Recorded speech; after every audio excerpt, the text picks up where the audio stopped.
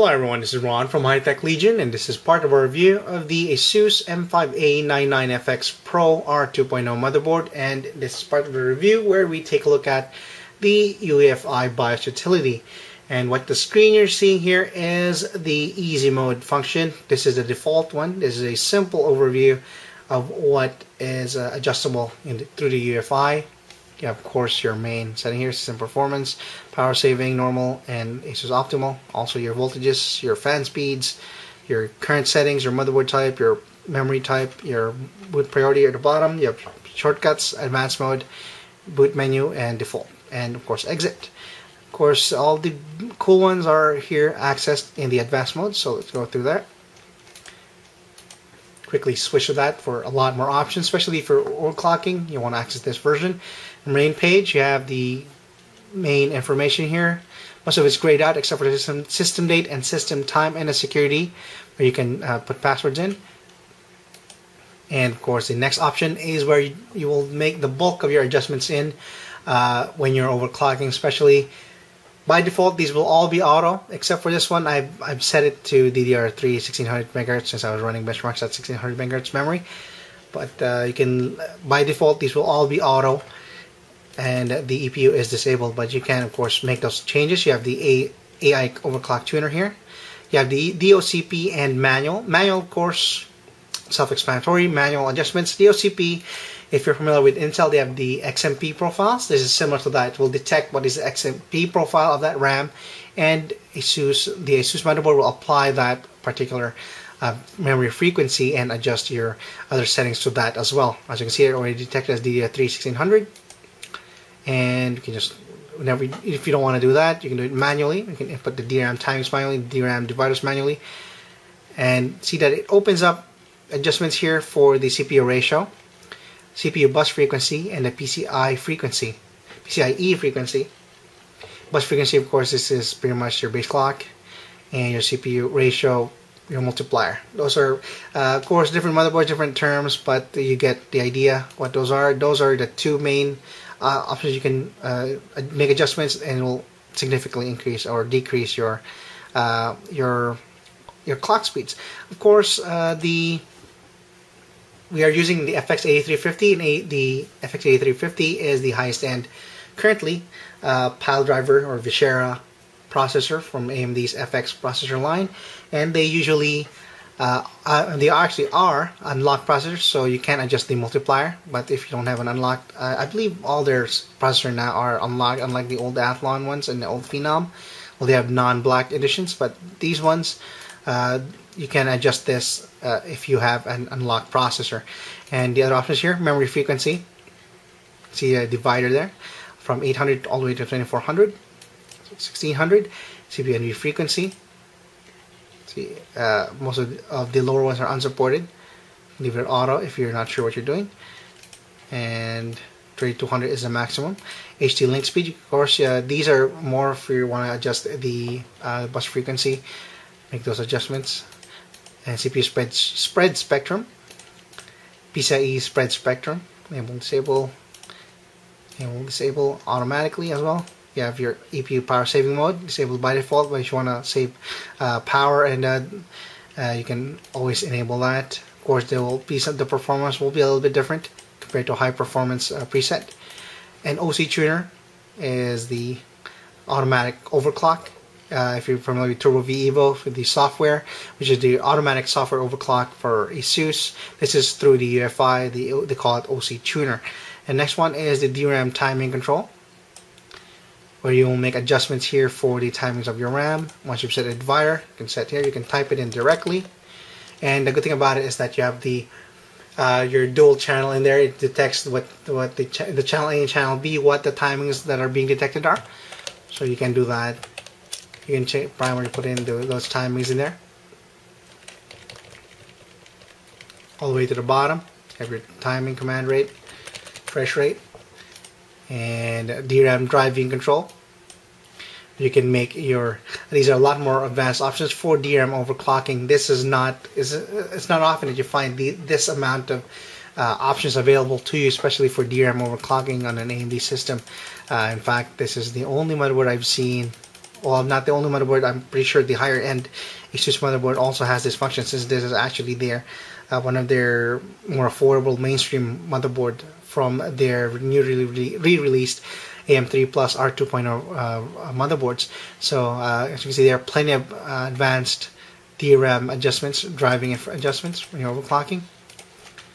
Digi Plus power control It's nested in there for again overclocking, more of the CPU, and a DRAM as well for the bottom. Of course, ASUS uses all digital uh, power control, as they call it, Digi Plus power control, unlike other um, uh, unlike other motherboard manufacturers, which use a hybrid version, or I believe some use a hybrid version, most of them now.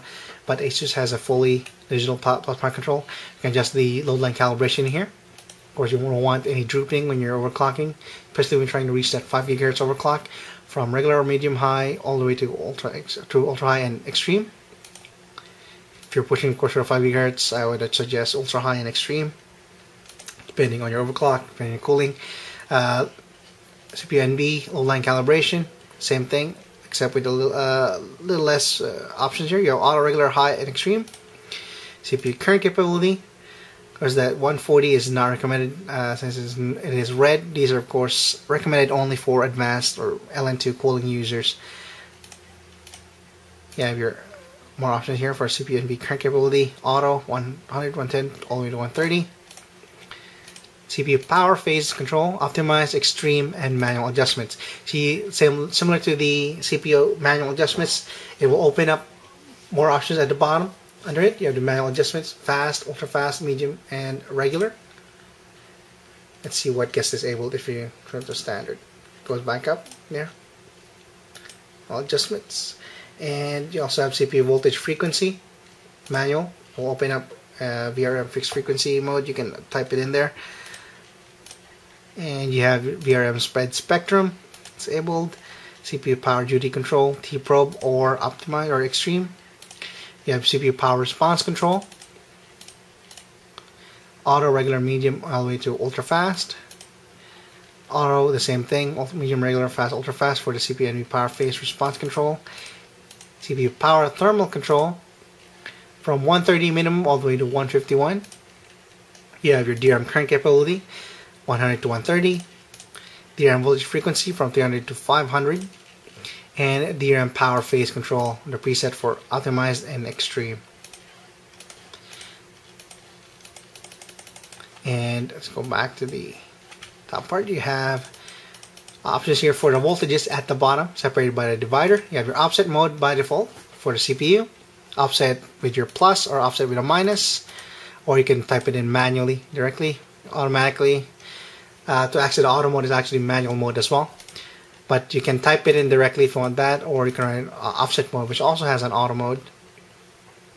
You can make adjustments here with the CPU offset, CPU, N, uh, CPU NB offset, CPU VDDA, DRAM voltage, CPU NB. You can increase or decrease, of course, with a plus or minus sign, or just type it in manually. You can see there at the right side, it shows you what the minimum and maximum values are and also the increments at which it allows you to adjust these particular voltage settings. Has plenty for a mainstream motherboard. Uh, it's uh, very interesting. And the next step is for the advanced option where you can access the features on your motherboard. Uh, you have CPU configuration, Cool'n'Quiet enabled, C1E, Core, Core C6 state, if your master mode, basically power saving options, you want to disable this if you're trying to get a high daily overclock, of course. And uh, North Bridge functions, you have IO MMU, memory configuration. Initial graphic adapter, of course, we uh, we are only through PCIe graphics or PCI. And South Bridge, PET. SATA configuration, it shows you that it detects the SSDs or the hard drives you have installed on each SATA port, including the eSATA. Interesting to note that the you have SATA configuration here, uh, this nested, that unlike other motherboards, the, uh, the Asus, well, I have, I'm using the latest version of the UEFI, which is 1101, 1101, and unlike other motherboard manufacturers, the the, the default setting is AHCI, which is uh, which is actually preferable compared to IDE, which is the old model. Uh, I believe some other manufacturers use IDE. So I just tested another 990FX board last time. It always defaults to IDE, and uh, whenever you forget that, of course, system boot. So it always defaults to HCI whenever, whenever you load optimized default, so that's a good thing. You have Smart Status Check also enabled by default. You have your ESP ports here for, uh, for uh, external SATA port. Enable them uh, all across the board from 1 to 5. Disable, of course, just the eSATA. Say enabled and back here you have the USB configuration detects if you have other uh, USB devices installed it detects that. You have also legacy USB support for older legacy uh, USB devices. USB 3.0 support of course enabled. Separate USB configuration you have more detailed configuration here. You have up to 14 I believe. Let's see here. Yes indeed you can disable each of the 14 USB ports individually which are powered by, of course, the Southbridge uh, 950, SB950 from AMD. You have CPU core on-off function, CPU core activation. These are more for, uh, I don't think, I don't know if they have, uh, I haven't tested the FX processor if they have cores disabled, but I believe the, I'm pretty sure the, the, the some of the Phenom 2, the triple cores can be become quad core, uh, dual core can become even quad core. These core activation features. These are backwards compatible with AM3, Windows AM3 Plus. You have the onboard device configuration. Of course, you can disable the extra ASMedia 1061 SATA ports if you want here. You can all disable the ASMedia 1042 controller in the rear or the front and also disable the battery charging support or enable it. It's actually disabled by default. The Realtek 8111 uh, LAN, gigabit LAN, serial port uh, configuration in here as well. Here's your IQ settings. You can change the Southbridge HD configuration for HD audio. And let's go back. The APM for the power management. You have your P-Ready disabled by default. Most of these are disabled by default. Of course, this is designed for performance, but if you want to, uh, if you don't mind uh, suffering a little bit of performance, you can adjust these, of course, to uh, improve the power consumption. And network stack, disabled by default. You can enable it here. And the next tab we have here is the monitor. Allows you to monitor the voltages, temperatures. If you have more than one fan, I only have the CPU fan installed here. As you can see, that's why it's uh, not reading the other chassis fan, but you can access that in here. I disable it, but you can enable. Let me just enable it so you can see what it looks like. It opens up options here for the what the slowly low speed limit is. If you don't want it to dip between below 600 RPM, or if you have a very very efficient PWM fan, you can just set it to 100. It's perfectly fine, or ignore it completely. And you have the fan profile for standard, silent, turbo, or manual. See if you get manual, of course, opens up more options here for the uh, duty cycle, max, min, and the upper and lower temperature thresholds. Uh, should disable that. And then the boot for uh, more about options when you're booting. You have your fast boot USB 2.0 support, rather no USB support for when you're booting.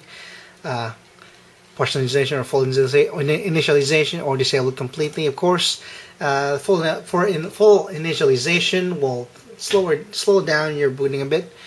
You know, same with the PS2 keyboard and mouse support. Um, the M5A 998FX Pro 2.0 is actually actually has a separate doesn't have that hybrid uh, PS2 keyboard and PS2 mouse. It has separate PS2 and separate keyboard uh, PS2 keyboard and separate PS2 mouse ports. So that is very cool. But you can disable it here if you want to do that. Network stack driver support. Normal next boot after AC power loss. Normal boot.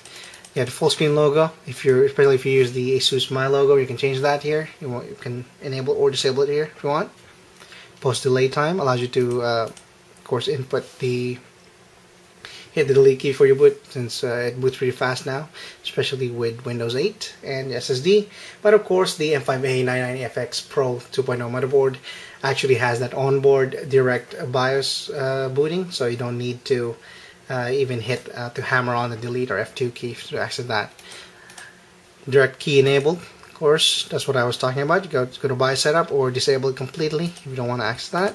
You have your 9 trap response, boot lock num state on. Of course, most people prefer it to be on because it's annoying when you're making adjustments with the plus and minus sign and have the number values if it's disabled. and with F1 enabled, force BIOS, optional ROM messages, uh, set up modes, advanced mode. This is the advanced mode you're looking at. Easy mode was the simple screen we were looking at earlier. CSM compatibility support module in here.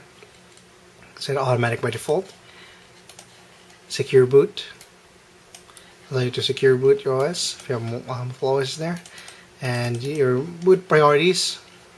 See here, uh, you can boot over at the bottom, and well, you can set the hardware priorities at the top in here uh, detects which drives are installed and you can set adjust those options in there which one has the priority on the top I've actually disabled the two ones I have I have uh, I only set it to one in there so it doesn't my other SSD doesn't interfere but there's there was three options here for the boot options before I, I set that in there and the last two options you have easy flash utility allows you to of course update your uh, for just plugging in a, uh, a USB drive with the with the uh, uh, update itself.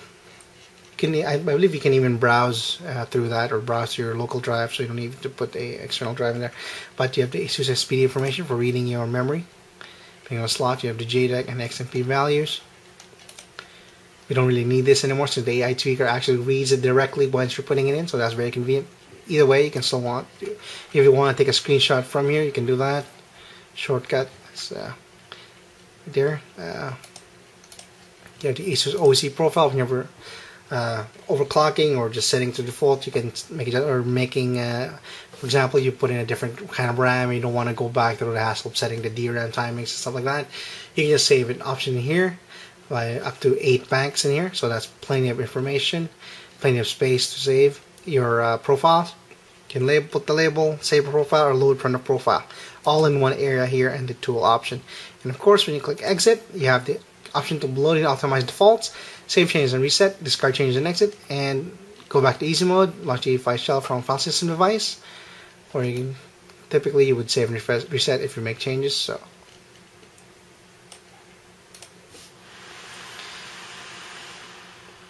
And that pretty much covers our overview of the ASUS M5A990 FX Pro R2.0 motherboard.